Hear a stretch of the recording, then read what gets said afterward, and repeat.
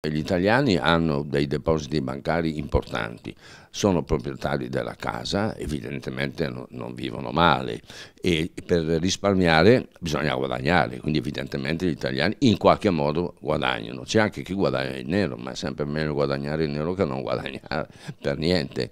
E quindi la situazione non è drammatica è, è drammatica in, in, Germania, in Francia e in Olanda, dove l'indebitamento privato è altissimo.